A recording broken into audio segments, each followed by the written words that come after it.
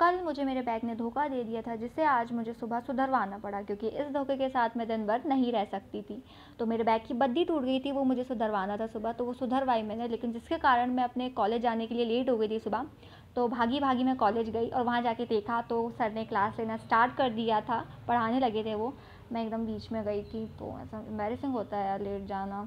खैर, आज तीन क्लासेस कंटिन्यू थी तो जो लास्ट वाली क्लास है, उसमें सीट लास्ट मिली थी, क्योंकि पहली वाली क्लास से मैं निकलने में लेट हो गई थी और दोपहर में वही लाइब्रेरी गई थी अपना, बाहर खाना खाया, फिर से लाइब्रेरी चली गई थी और हाँ आज घर भी गई थी मैं एक घंटे के लिए बिकॉज़ वोकल क्लास में अकेले अकेले गवाते हैं ना तो प्रैक्टिस करना था।